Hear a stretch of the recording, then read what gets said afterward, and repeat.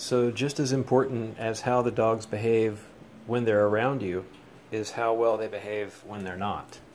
So, I was just in the kitchen here, I'm cooking some dinner, and uh, little white boy was in here, and I told him out of the kitchen.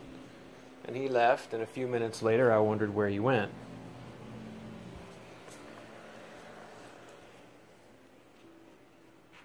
He's just hanging out.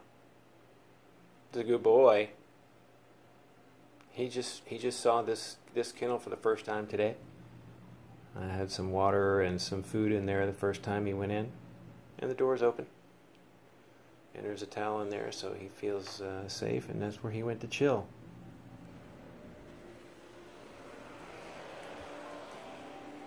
This is his other spot I gave him, which he does lay in. And there's sister. Not really sister, but that's what I call her. Chilling in her spot. Good dogs.